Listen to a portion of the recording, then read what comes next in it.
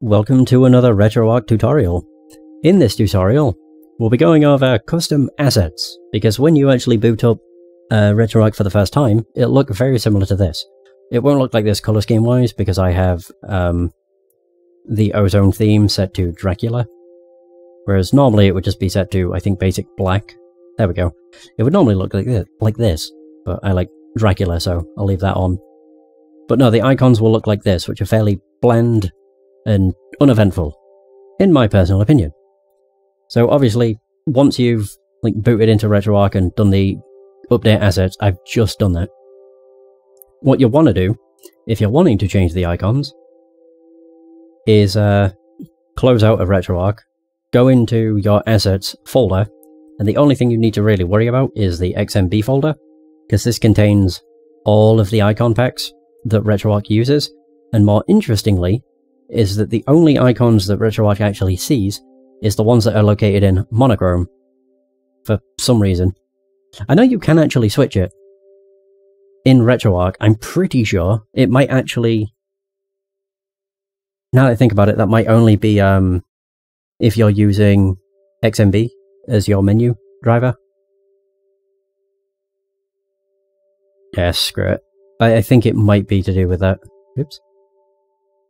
Box art scroller. Yeah, I think it's only when you're using XMB you can actually switch between the different icon sets.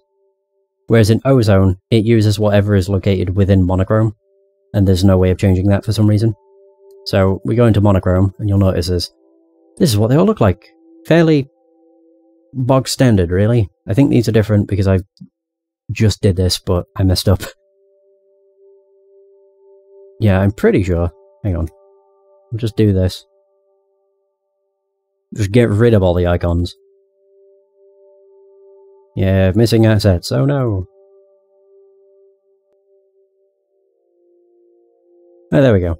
Sorry about that. I really should have, like, emptied the folder before I started, but for some reason I thought they would have already all disappeared. But this is what the monochrome folder looks like normally.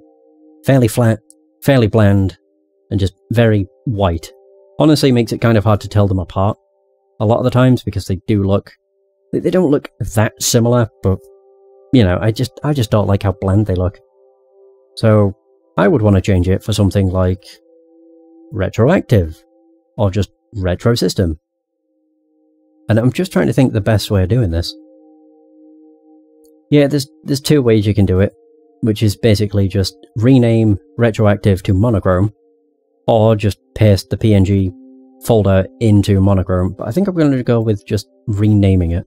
So I'll just do this monochrome, monochrome 2. And uh, just go over to retroactive and name that monochrome. Just double check. Yep. So now if I open up RetroArch, hey, it worked. It does pop up saying there's missing assets because I think there are things within like the monochrome folder that don't exist in here. So in that case, it probably would be best to just copy and paste it across. I just wanted to do both options because I wasn't entirely sure. So if we paste that in, go back to XMB, rename this back to retroactive, and then rename monochrome 2 to just monochrome. Now if I open it, does it still give us the missing assets? No, it doesn't. Okay, so your best bet is to just paste. It's not that bad. Like, yeah, you have a lot more files, but at the end of the day, they take up no space, so who really cares? But there we go, we, we now have a new, a new icon pack, and it looks a lot nicer than it normally does. You know, it's actually got colour and personality. Quite a lot of them look, look very similar with this, though. But you just experiment with the different icon packs, there's loads. There's probably custom ones you can find online too. Now the only thing you may notice is that both of my playlists have not got an icon. The reason for that is because the icon needs to match the playlist name exactly for it to actually um, pick it up. Otherwise it just displays as this. So because my playlist is called PlayStation and PlayStation 2, it's not recognized because in the icons uh, it is called Sony. So Sony PlayStation 2. So where's PlayStation? Just the first one. Because I'm just going to do this. I'm just going to name this to PlayStation.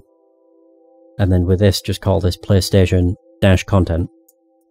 But then I'm going to go back to my playlists and name PlayStation 2 to just Sony dash PlayStation 2. And that should populate both of the icons. Hey, there you go. So yeah, because I renamed the icon to PlayStation, it matches the playlist. And then I just renamed the playlist to match the icon, and that also worked. It's really up to you what you would prefer to do. Like whether you would prefer to rename the playlist or rename the icon. Entirely down to you.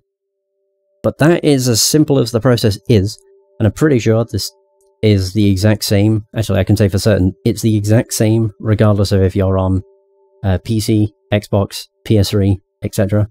Any version of RetroArch, as long as it has the same file structure with an assets folder, should be able to do this. And I'm pretty sure the um, like using custom assets only affects XMB and Ozone, because those are the only two um, interfaces that actually use icons. I'm pretty sure. Yeah, RGUI and GLUI. I don't even know. But I think with XMB you don't need to go through this, because I'm pretty sure you can switch icon packs around willy-nilly. I'm just going to check. I don't really need to do this in the video, but yeah, whatever. Let me just double check. Oh, god. I am not used to using XMB. So for user interface on XMB, maybe not. Huh. Electric blue ribbon. Oh, there we go. You can with XMB. Yeah, XMB allows you to switch. Interesting. So this only actually affects ozone, because with ozone you can't do that. I don't think. I'm gonna find out. Yeah, just do it in the video. It's a learning experience.